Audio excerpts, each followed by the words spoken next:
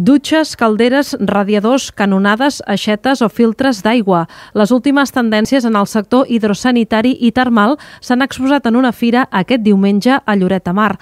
Es tracta dels productes que venen una quarantena d'empreses italianes.